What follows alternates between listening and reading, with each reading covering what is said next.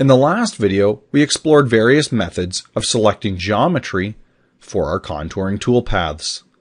Now in this video, we're going to discuss roughing and finish passes. If you plan on following along, you can use your part file from the last video, or open and save part 7.5.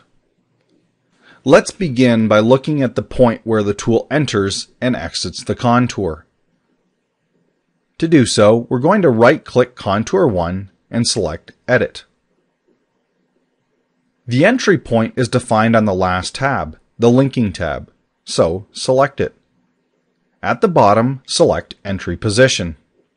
We can now select an edge that we want the tool to enter on. When selecting an edge, the tool is going to start at the center of that edge, whether it be a straight line or an arc. We're going to select the front edge of our part. Now the other thing that happens at the entry and exit point is a lead in and lead out.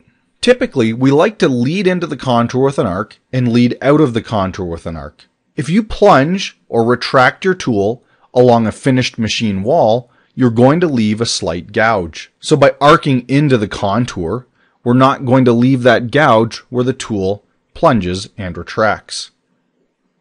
The defaults have lead in and lead out active. Here we can see we've defined the radius that we're leading in, as well as the distance.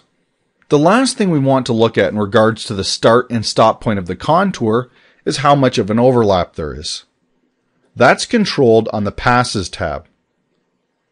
On the Passes tab, just below the Finish Passes checkbox, we have Finishing Overlap.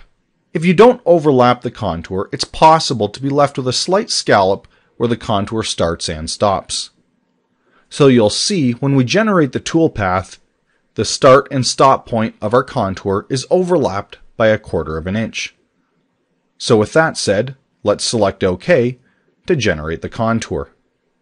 Now we're arcing in at the center of this edge, and when we come around the back side of the contour, we're overlapping the start point before arcing off the contour and retracting the tool. So we've improved the surface finish in that way. But most often when you're contouring a part, it's a good idea to take a roughing pass to remove the material and then a light finish pass to ensure that there was no tool deflection during that roughing pass. To establish a finish pass, again we're going to right click the contour and select Edit. Finish passes are set on the Passes tab. We need to check the Multiple Finish Passes checkbox. Let's set the number of finish passes to 2. Now our first pass is going to be 50 thousandths of an inch off of the contour, and our second pass will be along the finished geometry of our contour. So that establishes roughing for the contour. What if the contour was too tall and it couldn't be machined in one single depth cut? Well, again, on the Passes tab, we can check multiple depths. This works the same way multiple depths work on a facing tool path. By defining a maximum step down, HSMWorks will calculate how many steps are required to machine the entire contour. Let's set a maximum step down of 1 quarter of an inch, or decimal 25. So we're going to take multiple steps to remove the material in the Z direction. But by default, with each step, we're going to run a roughing pass and a finish pass. By doing this, you could see lines along your finished part where each finished pass was taken. To avoid this, it's a good idea to turn finish at final depth only on. What this does is force the tool to take multiple Z cuts, all 50 thousandths of an inch, off of the contour, and then at the final depth only, we're going to finish the entire contour. So, with our roughing passes and finishing passes set, we're going to select OK.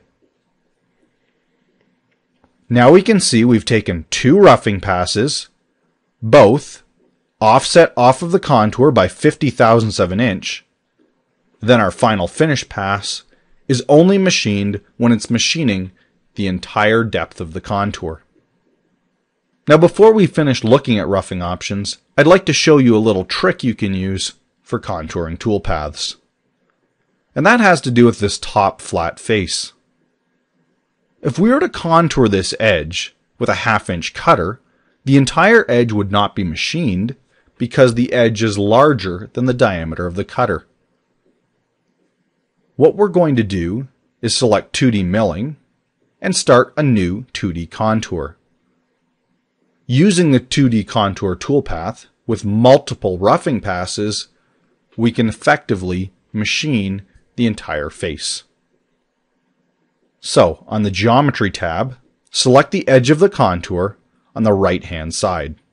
Remember, we want to select the contour at the depth where we're going to machine so that we don't need to establish our heights.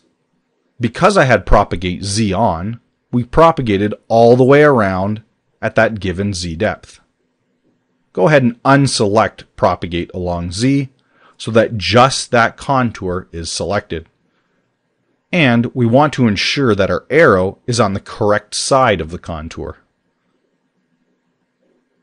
With the geometry set, we can skip the Heights tab because that's defined by the depth where we selected the contour and move on to the Passes tab. On the Passes tab, check Roughing Passes. These roughing passes are similar to the step over on a facing operation.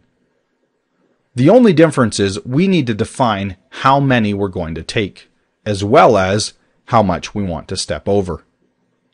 I'm going to use a step over of 1 quarter of an inch, or 0.25, and take a total of 3 passes. Whenever roughing passes is turned on, we're automatically going to take one finish pass, in this case, 50 thousandths of an inch.